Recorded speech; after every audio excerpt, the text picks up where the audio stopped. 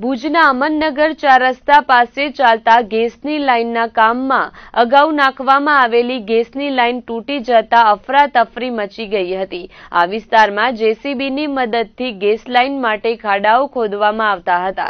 ત્યારે અગાઉ પથરાયેલી ગેસની લાઇન ત્રણ જગ્યાએથી તૂટી જતા લીક થઈ હતી. પરિણામે સમગ્ર વિસ્તારમાં ગેસની દુર્ગંધ ફેલાઈ હતી.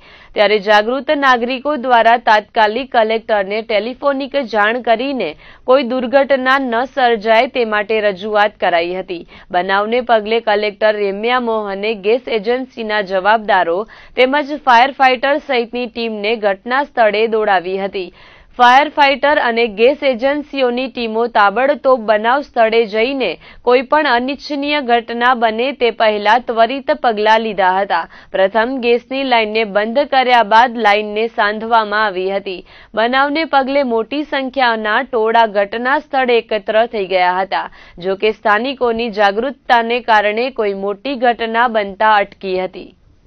લાઈનનું કામ ચાલુ છે. ડોઝરથી ડાયરેક્ટ મારતા ગેસની લાઈન જે નાખેલ છે એ લોકોએ, જેનું અમે વિસ્તાર વતી વિરોધ પણ તે દિવસે કર્યો હતો કે એના માટે સેફટી શું છે? પણ આજે એ લાઈનમાં ડાયરેક્ટ જીસીબી નાખતા લાઈન તૂટી ગઈ. એક જે લાઈનના બે ત્રણ હોલ થઈ ગયા, પૂરા વિસ્તારમાં ગેસ ફેલાઈ ગયો હતો. અમે જિલ્લા કલેક્ટરને જાણ કરી. જિલ્લા કલેક્ટર સાહેબે તાત્કાલિક તકેદારીના પગલાં ભર્યા. પણ એકચોટ પંદરથી વીસ મિનિટ માટે પૂરો વિસ્તાર ભયભીત થઈ ગયો હતો અને અફડાતફડીનો માહોલ ઊભો થયો હતો. આવી પરિસ્થિતિ ઊભી કરનાર તમામ જે લોકો છે, જવાબદાર, એને એ લોકોને જે લોકોએ પરમિશન આપી છે, તમામ સામે કાયદેસરના પગલાં ભરે. સરકાર એવી અમારી માંગણી છે. અને જો સરકાર પગલાં નહીં ભરે, તો આ જીસીબી વાળાઓને અમે આ એરિયામાં પગ મૂકવા નહીં દઈએ.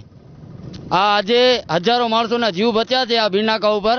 આ જીસીબી વાળા બીજી વાર આવી બેદરકારી કરશે તો આ લોકોને કાયદો હાથમાં લઈને મારીશું.